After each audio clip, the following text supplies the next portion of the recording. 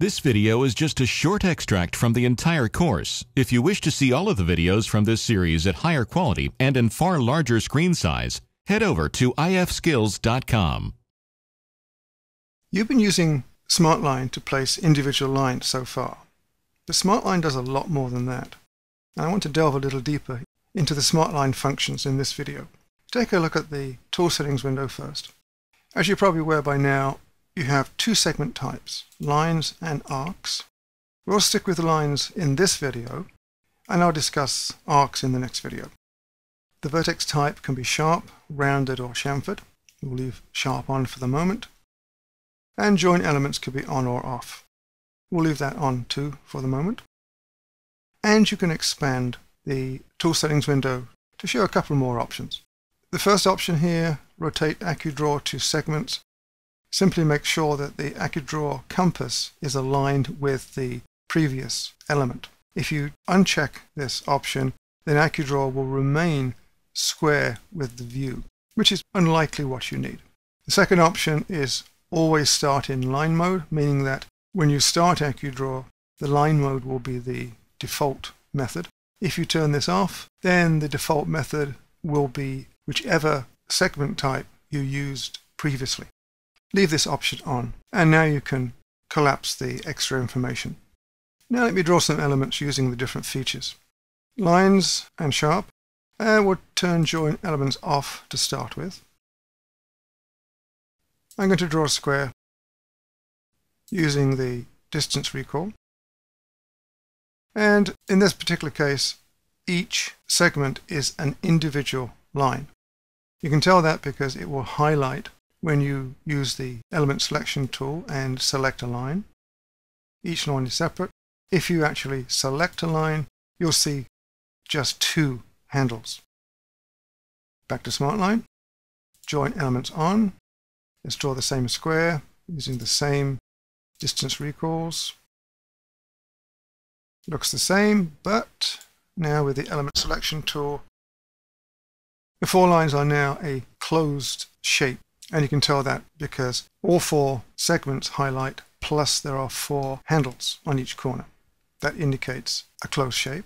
And you can double check by simply clicking and dragging, and the whole shape will move, which is different from the single lines, which only a single line will move.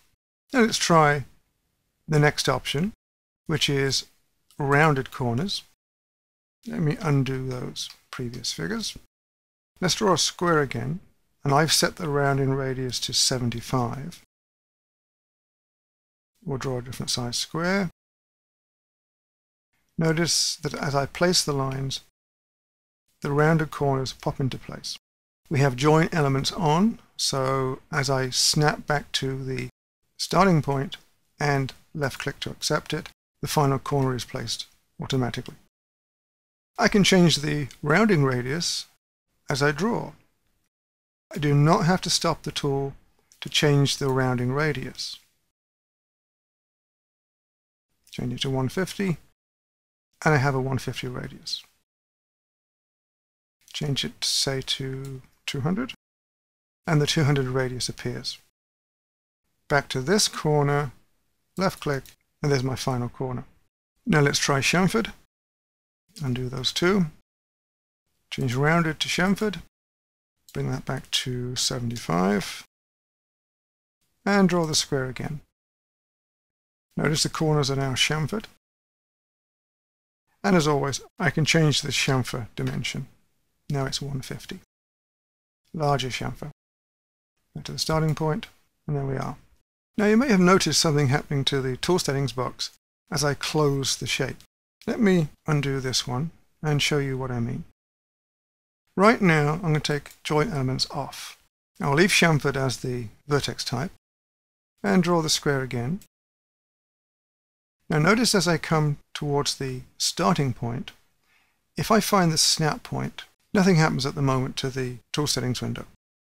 But let's say I discovered that I really do need a closed shape, which means that I would have to turn join elements on to close the shape. I can still do it but only if I place a manual tentative point at this location. So manual tentative point, This allows me to go to the tool settings window without losing my place marker in the drawing. I can now turn join elements on and I can choose to have it as a closed element or not. I'll leave closed element on and I can also make settings with the area and fill type as well. I'll accept that. And if you notice now, we have a chamfered final corner, which we wouldn't have had before. If I left click now to accept that, now I have a closed shape with four chamfered corners. Let me do that again, a different way. Join elements is on this time.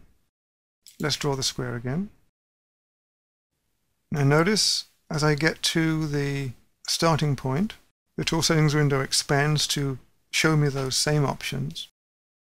But if I wanted to change the options, if I try to move the cursor into the tool settings window, I can't, because as soon as the snap point disappears, so do the options in the tool settings window. So the answer here again is a manual snap at this point. So manual snap. This locks my tentative point into place and it also locks the tool settings window. I can now go in and make whatever settings I need if I need them. I left click and I finish the figure. Now that manual snap will become important a little later, so please keep it in mind. As always, I have some exercises for you. Here's the first one. I'm going to draw this fairly complex shape. It has two different radiuses and a chamfer. So let's start with rounded. The start point is here, and you may think that this will be the first radius, but it isn't. That's the first radius, as you'll see. So I have a 100 millimeter radius to start with. So rounded and 100 millimeters. Join elements is on. So I'm going to start my first point here. Dragging this way, I'm drawing the figure counterclockwise. The first dimension is 750, and the first radius which is this corner, is 100 radius. My 100 radius is preset. I draw the line, and my first dimension is 750. I type 750, left click, and drag, and there's my first rounded corner. Now I drag upwards, and the next dimension is 1070. I left click for that corner. Now as you notice, this upper right corner should be a chamfered corner. But of course it's projecting as a rounded corner right now. I need to change the parameters. So rounded becomes chamfered, and the chamfer offset becomes 200. Now I'm dragging the chamfer. Now a very important point here. That chamfer won't be set until I place the next data point. In other words, at this point, I could change any of the parameters in the tool settings window, as I just did. But until I place the next data point, I won't actually place that chamfer. Next dimension is 600. Now I can data point, which will set the chamfer corner. And of course I'm dragging a chamfer corner again. I need a rounded 250 radius. So we change to rounded and 250. There we go. I'm dragging my 250 corner. And as it happens, the final corner at the starting point is also 250. So I can simply come down, find the snap point, and there's my second 250 radius. But if that last radius was not 250, or if it was sharp, or if it was chamfered, how do I change at this point since the data point that I'm about to place will set that corner? Well, the answer again is a manual tentative point. If I place a manual tentative point right now, I can go into the tool settings window and make any changes I need to the final corner.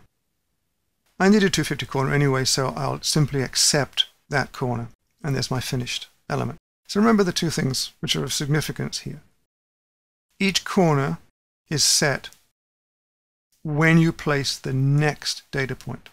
In between that time, you can make any changes you want to the parameters of the corner until you place the next data point. And going back to the starting point, if you need a different corner from the previous corner, then use a manual tentative point make the settings you need, and then accept the corner. And one final point, as you're working around this figure, if you make a mistake in a line segment, you can undo that segment using Control Z, and only that segment will be undone. Any previous segments will remain in place. and then you can carry on with the segment that you've undone. And as always, you'll find this particular exercise in a file Smartline PDF in your Working Files folder. Let's try another example. This time let's look at line strings rather than closed shapes. Same conditions apply, particularly regarding placing a corner with the next data point. There's the figure I'm going to draw, and I'll start over here. Here's my first data point. The first corner is a chamfer corner with a 225 chamfer. So I need chamfered and 225. First dimension is 400 and left click to accept. And there's my chamfer. The next dimension is vertically and 600. And at this corner I need a sharp vertice. But first I have to confirm the previous chamfered corner. So I'll accept the 600, which locks the chamfer corner. I need to revert back to a sharp corner for the next corner and carry on in this direction with a dimension of 1070. Left click, that locks the sharp corner. Now I need a rounded corner with a radius of 300. And the dimension in this case is 675. Left click to lock the previous corner. The next radius is 225. And I have an offset of 400 by 900 for the next corner. Make sure AccuDraw is active and enter my offsets using the rectangular compass. So 900 in this case, up arrow or down arrow, and 400.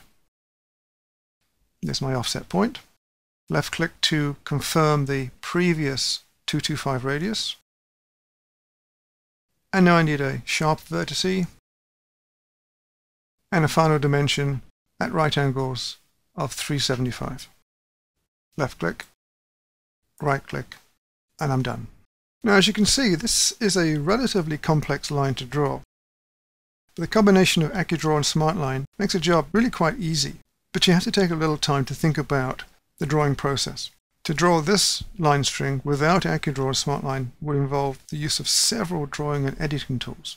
But using SmartLine makes the job very much easier. And again, this exercise is in your smartline.pdf file.